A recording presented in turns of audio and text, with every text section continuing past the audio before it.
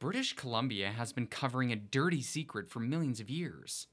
Until now. In the year 2000, two children were floating down the river, and without warning, a swell tossed a child from his tube and into the murky depths below. And what happened next changed the history of the province. This boy is Mark Turner, and he stumbled upon one of BC's first dinosaur bones.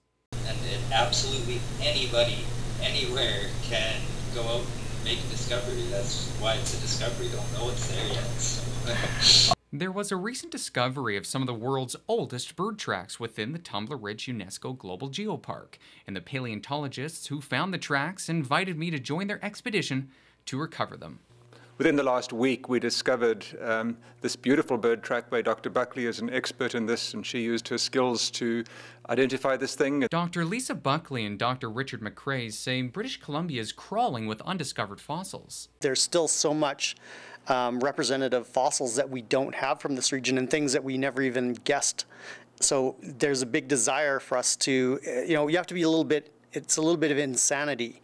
It's like the insanity of a collector. So we were off to scour the mountainside to retrieve the fossil that the team had discovered.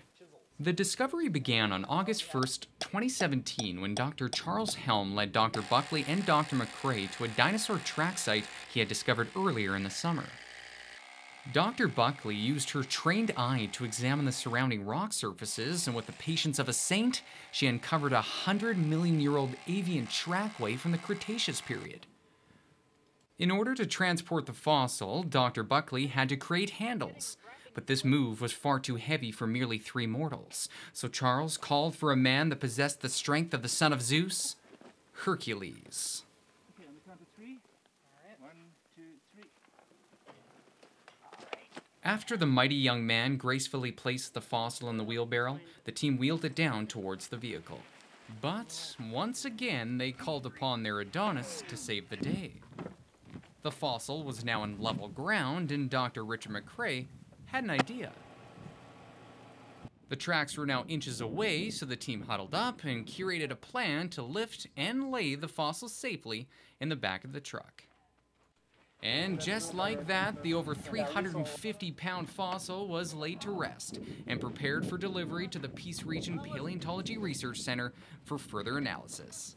The dig was incredibly successful, but I got a little bit dirty, and I've been searching for Rich all over the place. I can't find him anywhere in the gallery. I can't find him anywhere. He has my uniform. He told me that I'm an honorary paleontologist, and uh, I have no uni.